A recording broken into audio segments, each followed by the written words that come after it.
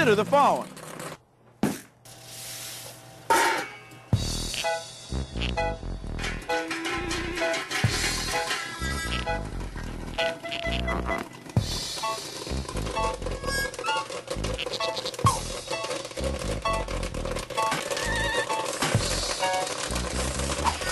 Now, if each popcorn kernel represents one year, represents one year, well then, uh, this many kernels would be the number of years that you'd need to get a PhD in, say, computational fluid dynamics. Now, dinosaur fossils are hundreds of millions of years old.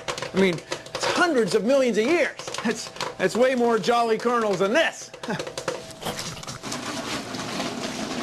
In each of these bags, there's about 5,000 jolly kernels in it. That would be 5,000 years. That would be uh, as old as the pyramids.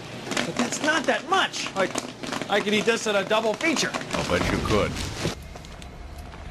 To get back to some of the oldest dinosaurs, we need tens of thousands of these bags. 150 million years, 150 million kernels of popcorn. It's enough to fill a whole boxcar. It's more than you can eat in your whole lifetime.